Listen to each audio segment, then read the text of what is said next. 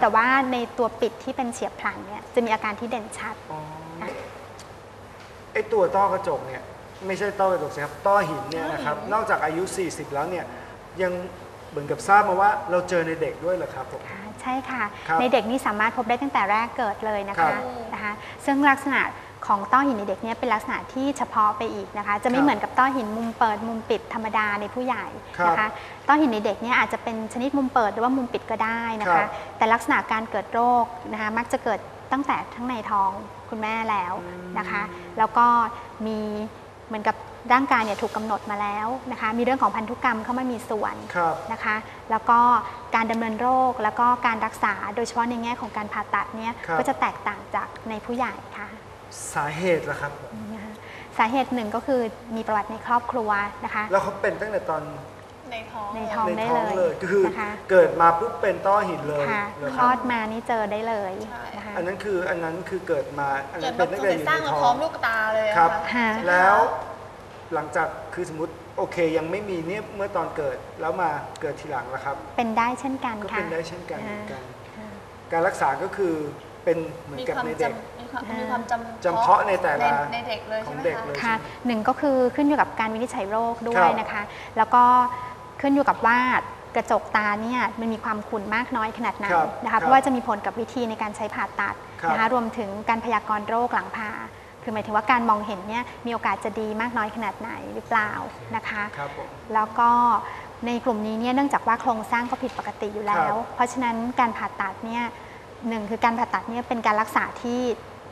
สำคัญนะครัคะ บแล้วก็เป็นตัวที่อันดับหนึ่งเลยนะครัคะ บยานี้เป็นแค่ตัวช่วยอ๋อโอเค นะคะ และการผ่าตัดในเด็กเนี่ยก็อาจจะต้องทำมากกว่าหนึ่งครั้งนะคะ เอาละครับอืมตอนนี้เราจะ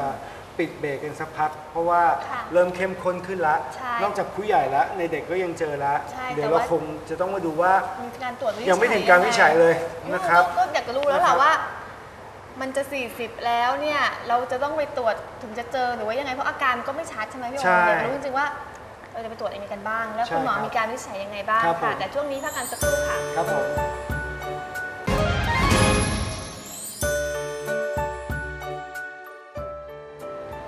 กลับมาดูแลดวงตานะคะ ครับว่า ไปตรวจยังไงถึงจะรู้ว่าเป็นต้อหินหรือเปล่ากับคุณหมอกันต่อในรายการคุณหมอคู่บ้านค่ะ อย่างแค่เมื่อกี้คุณหมอบอกว่าเอ่อ ถ้าเป็นแบบเฉียบพลันค่ะ จะมีอาการ แต่ถ้าเกิด เป็นแบบเรื้อรังอาจจะไม่มีอาการก็ได้ ใช่ส่วนมากมักจะเจอจากการตรวจร่างกายใช่ไหมครับ บังเอิญแล้วเราจะรู้ได้ยังไงล่ะครับว่าความดันใช่ลูกตาเรามันสูงหรือไม่สูงอยู่ดีๆ ไปตรวจได้ไหมคะคุณหมออ่าอ ใช่ครับ ได้ค่ะ ถ้าสมมติเราสนใจนะคะ อยากครับจะรู้เร็วๆนะคะ คืออย่างต่ำเลยนะคะคนครับที่อายุมากกว่า 40 ปีขึ้นไปนะคะ ต้องใกล้ทราบแล้วว่าเรามีความเสี่ยงนะครัคะ บแนะนำให้ไปตรวจนะคะค่ะอย่างน้อยปีละหนึ่งครั้งนะคะ และโดยเฉพาะคนที่มีประวัติครอบครัว ครับแนะนำให้ไปตรวจก่อนหน้านั้นอีกครับ นะคะ อาจจะไปพร้อมคุณพ่อคุณแม่หรือญาติที่เป็นก็ได้ วิธีการตรวจยากไหมครับ เจ็บไหมครับ วิธีการตรวจนะคะ ก็เริ่มตั้งแต่การตรวจตาโดยทั่วไปนะครัคะบ คือดูโครงสร้างลูกตานะคะ ดูตั้งแต่หน้าสุดไปหลังสุดนะคะ นอกจากนั้นที่สำคัญก็คือวัดความดันลูกตาครับนะคะ ซึ่งเรามีประเภทแบบคร่าวๆ คือใช้ในการคัดกรอง คือใช้วิธีเป่าลมนะคะ เป่าลม ยังไงคะอยากรู้ ใช้ลมเป่าไปที่ลูกตานะคะ ค่ะแล้วก็จะฮะมีเครื่องที่จับวัดความดันลูกตาได้นะคะ อืม หรือว่าถ้าจะให้เอาแบบมาตรฐานเลยนะครัคะบก็คือใช้สลิตแลมนะคะ ครับอันนี้เป็นขอพูดทับศัพท์นะคะ ครับ ก็เป็นเครื่องมือที่ทุกท่านจะเห็นเวลาที่คุณหมอตาตรวจนะคะ ก็คือเราจะใช้ตัวกล้องเนี่ยส่องไปที่ที่ลูกตานะครัคะ บ แล้วก็คือดูโครงสร้างว่ามีลักษณะที่ผิดปกติที่เข้ากันกับโรคต้อหินไหมครับนะคะ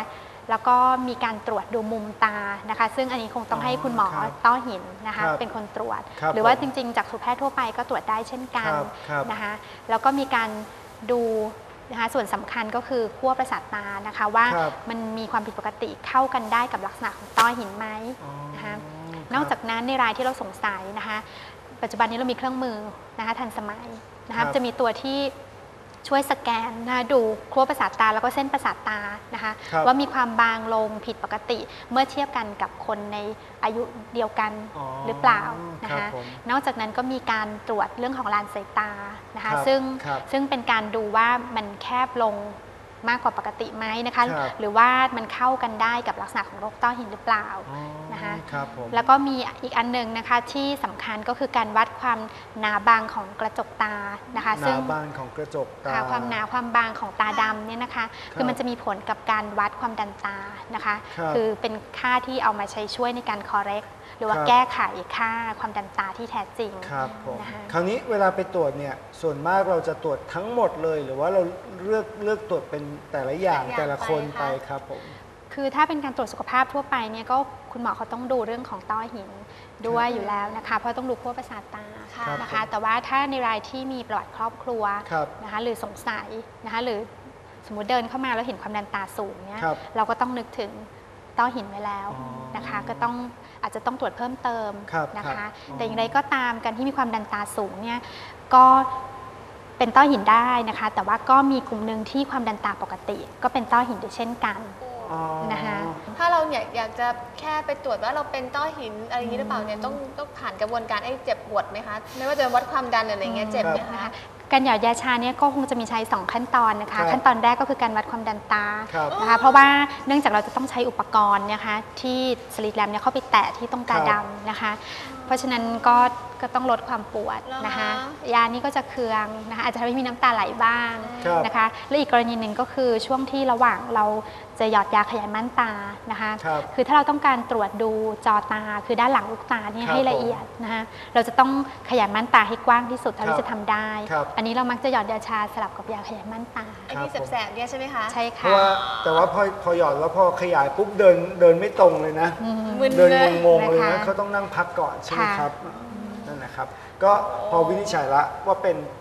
ต้อหินละนะครับ แต่ละชนิดเนี่ยมีการรักษาต่างกันยังไง แล้วก็มีวิธีการรักษายังไงครับผมยังไงบ้างคะครับ อันดับแรกนะคะก็คือเรามีการรักษาหลักๆ อยู่ 3 อย่างด้วยกันก็คือ 1 การใช้ยานะครัคะบยานี้มีตั้งแต่ยาชะยาเฉพาะที่นะคะแล้วก็มียารับประทาน อาจจะเป็นชนิดเม็ดหรือว่าชนิดน้ำก็ได้ครับนะคะ รวมถึงมียาฉีดนะคะฉีดฉีดเพื่อลดความดัน ฉีดเข้าไป ในเส้นเลือดค่ะอ๋อในเส้นนะคะเลือดแต่เรานะครับมักจะใช้ในระยะเฉียบพลันนะคะหรือว่าต้องการที่จะลดความดันเร็วคๆรันะบคะเป็นกลุ่มลดลด ความดันโลหิตไหมฮะหรือว่าอ๋อมันจะลดช่วยลดความดันตาค่ะ อ๋อลดความดันตาค่ะใช่ไหมครับนะครัคะบผมครับ แล้วก็มีการใช้เลเซอร์เพื่อใช้รักษา อ๋ออัอันนี้เราจะใช้ในรายที่มีมุมตาปิดนะคะ ครับ หรือว่าในรายที่มีมุมตาแคบ แล้วก็เสี่ยงกับการที่มีเอ่อการแอ t แทกของต้อหินนะครัคะบเราจะยิงป้องกันไว้ได้อ๋อนะคะ แต่เลเซอร์นี่ก็มักจะใช้ร่วมกันกับยาหยอดครับนะคะ ผมแล้วก็สุดท้ายคือการผ่าตัดครับอในรายที่การใช้ยากับเลเซอร์เนี่ยไม่ได้ผลแล้วครับ นะคะ ในส่วนของต้อหินมุมเปิดเนี่ยก็มักครับจะเป็นในเรื่องของของยานะคะ แล้วก็การผ่าตัดเป็นหลักนะคะ ก็คือเปิดมุมเปิดนี่ก็คือใช้ยาค่ะกับการผ่าตัดใช่ไหมค่ะคู่กันหรือว่ายาก่อนไม่ได้ผลแล้วค่อยผ่าตัดครับ ยาก่อนไม่ได้ผลค่อยผ่าตัด นานเท่าไหร่ครับ เราถึงจะรู้ว่าดีขึ้นหรือไม่ดีขึ้นก็ครับคือระยะเวลาเนี่ยบอกไม่ได้ เพราะว่าครับถ้าสามารถคุมด้วยยาได้เราก็จะใช้ยาไปเรื่อยอ๋อๆนะคคะรับผมแต่เมื่อไหร่ก็ตามที่ใช้ทุกวิธีไม่ได้ผลเราก็ต้องลงมีดผ่าตัด นะคะครับผมอืมโอเค แล้วพูก็ดถึงการผ่าตัดยังอย่าเอาเอาเอาปิดก่อน อะปิด อืม เอาแบบปิดก่อน มุมปิดนี่เราก็จะยิงเลเซอร์นะคะ เป็นการทำทางระบายน้ำจากทางด้านหลังม่านตาเนี่ยมาที่ช่องหน้าลูกตาครับนะคะ เพื่อที่จะให้น้ำนี่มันระบายจากด้านหลังลูกตาเนี่ยมาที่มุมตาครับผม นะคะ จะได้ระบายออกไปได้นะคะ อ๋อรับคือทำยังไงก็ได้ให้เพื่อเพื่อที่ให้เขาน้ำเขาออกมาเพื่อที่จะระบายเพื่อที่จะลดไอ้ความดันลดความดัน ในลูกตาลงใช่ไหมครับ ค่ะ อันนี้แบบใช้รักษาทั้งแบบอ่าเฉียบพลันและเรื้อรังเลยไหมครับ หรือว่าเฉพาะแบบ คือในในรายเฉียบพลันนี่ใช้เลเซอร์แน่นอนอ๋อนะใช้คะเลเซอร์แน่นอนค่ะแต่ในครับในรายเรื้อรังเนี่ยอาจจะเป็นไปได้เช่นว่ามีต้อกระจกร่วมด้วยครับนะคะแล้วก็ต้อกระจกนี่มันหนาใหญ่มากครับนะคะมีโอกาสที่มันจะทำให้เกิดภาวะต้อหินเฉียบพลัน on top ได้หมายถึงค่ะ คือเรื้อรังแล้วก็ยังเป็นเฉียบพลันมาซ้ำซ้อนได้ ซ้ำซ้อนกับ เรื้อรังอีก ใช่ค่ะก็ต้องเลเซอร์ค่ะนะคะยาอย่างเดียวไม่พอแล้วไม่พอคค่ะรับผมนะคะเพราะฉะนั้นเนี่ยถ้าเป็นแบบปิดเนี่ยต้องไม่เลเซอร์แล้วผ่าตัดไหมครับ คือเราอาจจะมีการผ่าตัดต้อกระจกร่วมด้วยได้นะคะ อ๋อเพราะว่าพวกนี้เนี่ยครับต้อกระจกที่มันหนามากเนี่ยมันจะไปดันดันไปข้างหน้าครับนะคะทำให้ครับมุมตาอาจจะแคบลงได้ ครับครับ การเอาต้อกระจกออกเนี่ยก็ช่วยเปิดมุมตาอ๋อนะคะ ครับนะผม เพราะฉะนั้นแต่ไม่มีการผ่าตัดในในแบบปิดใช่ไหมฮะ มีค่ะอ๋อมีด้วยนะะใช่ไหมครับ ค่ะ คงต้องพูดถึงเรื่องการผ่าตัดละใช่ว่าผ่ายังไงเพื่อที่จะเป็นยังไงบ้างทำยังไง แล้วก็ผ่าเข้าไปตรงไหนโอ้ ครับผมต้อหินเนี่ย เอาครับ หินออก นะคะการผ่าตัดก็คือหลักการนี้ก็คือการระบายน้ำจากในลูกตาออกมาครับนอกลูกตานะคะ ครับแต่การระบายมาข้างนอกเนี่ยเราระบายมาไว้ใต้ต่อเยื่อบุตานะคะครับคืออยู่เหนือต่อตาขาวนะคะ แต่ว่ามีเนื้อเยื่ออีกเนื้อเยื่อหนึ่งคลุมไว้อยู่นะคะ ทีนี้การผ่าตัดนี้นะคะก็มีหลายแบบเช่นกันครับนะคะ อาจจะเป็นการผ่าตัดธรรมดาคือทำเป็นทางระบาย หรือการผ่าตัดฝังอุปกรณ์นะคะ ลงบนบนลูกตานะคะ เพื่อที่จะช่วยระบายน้ำจากข้างในลูกตาออกมานอกลูกตาด้วยนะคะ แต่อันนั้นก็เป็นเอ่อการผ่าตัดแบบท้ายๆนะคคะรับ ก็คือเป็นการเหมือนฝังท่อเข้าไปเพื่อให้เขาระบายอย่างนี้ใช่ไหมครับ ใช่ กังค่ะหันหรือว่าปั๊มน้ำฝังค่ะฝังปั๊มน้ำอะไรอย่างมันเงี้ยจะมีหลายลักษณะมาครักบเลยค่ะนะคะขึ้นอยู่กับว่าเราเราต้องการระบายคือมากครับขนาดไหนรับนะคะนี่พูดเล่นนะเนี่ยนึกว่ามีกังหันวิทสองน้ำอย่างนะเหมือนกันไหมฮะ การผ่าตัด ทั้งสองอย่าง การผ่าการผ่าตัดแบบธรรมดาเนี่ยคือเราไม่ต้องฝังอุปกรณ์นะคะ อ๋อเราจะทำรูระบายครับนะคะ แต่ว่าการฝังอุปกรณ์เนี่ยเรามักจะทำในกรณีที่คิดว่าแบบแบบที่ทำรูระบายเนี่ยมันล้มเหลวแล้วครับผม นะคะ หรือว่าคิดว่าการผ่าตัดแบบรูระบายธรรมดาเนี่ยลดความดันได้ไม่พอครับผมนะคะ หรือมีคโอบกาสเสี่ยงที่จะล้มเหลวนะคะ เราก็จะฝังเลยครับ นะคะ แล้วการผ่าตัดระหว่างไอ้ตัว เปิดกับปิดนี่เหมือนกันไหมครับเหมือนกันอ๋อค่ะเหมือนกันเลย ค่ะ ก็จะเป็น 2 วิธี ระบายน้ำที่ย่งบอกเดีวระบายน้ำหรือไม่ก็ฝังกังหันน้ำกับฝัง ค่ะระบายกับฝังอุปกรณ์พูดง่ายๆนะเอาแบบค่ะ เอาภาษาง่ายๆ คือเอ่อระบายกับฝัง คราวนี้อัตราการอะวิธีการผ่าค่ะ วิธีการ เข้ายังไงอะไรยังไงครับ เหมือนกับการผ่าต้อกระจกอะไรไหมครับ วิธีการก็คือเราจะต้องเปิดนะคะ ต้องเลาะตรงเยื่อบุตาที่อยู่ตรงขอบตาดำก่อนนะคะ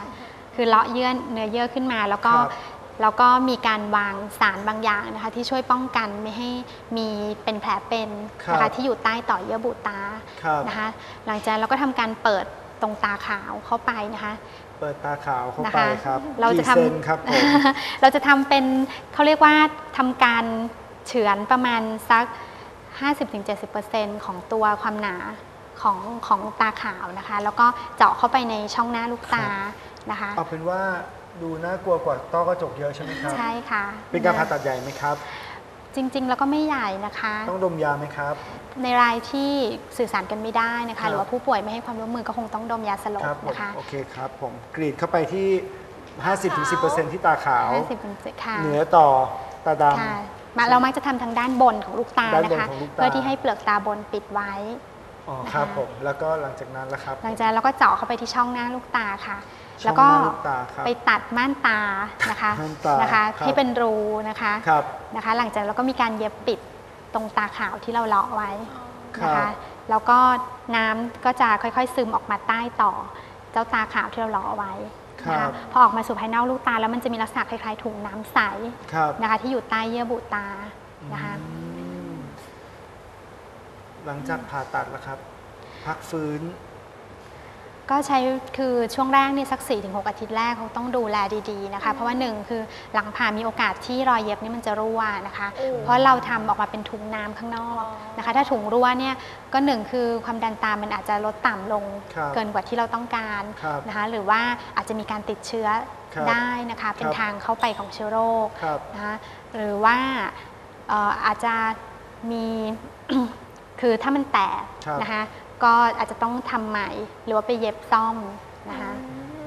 เราจะรู้ได้ไงครับว่าการรักษาแบบระบายกับใส่ท่อเข้าไปเนี่ยใช้เวลาดูซิว่าไม่ได้ผลอะไรยังไง ถึงจะมาเป็นแบบฝัง ฝัง ก็ถ้าเราติดตามผลไปหลังผ่าตัดแบบครับแบบระบายนะคะ ฮะถ้ามันล้มเหลวเช่นเป็นแผลเป็นนะครัคะ บหรือว่าติดตามไปแล้วความดันตาขึ้นครับนะคะ ไม่ว่าจะแก้ไขด้วยวิธีไหนเราก็ตามครับ นะคะ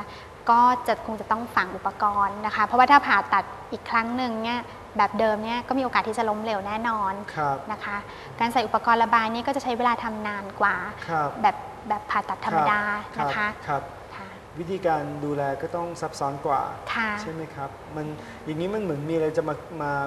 เคืองที่ตาเราไหมฮะข้างอย่างบนนี้คือคนไข้อาจจะรู้สึกบ้างนะคะ แต่ว่าในปัจจุบันก็มีการออกแบบอุปกรณ์นะครัคะบให้มีลักษณะแบนราบ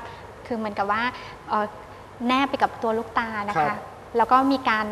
ฝังเข้าไปใต้ต่อกล้ามเนื้อตาครับนะคะเพราะฉะนั้นมันจะไม่ได้หลุดออกมาง่ายอ๋อๆ ยกเว้นว่ามีอุบัติเหตุหรือแรงกระทำอะไรครับผมนะคะ ผลการรักษาครับ ส่วนใหญ่เป็นไงบ้างคะโดย ดีขึ้นร้อยเปอร์เซ็นต์ โดยส่วนมากก็ดีขึ้นนะคะ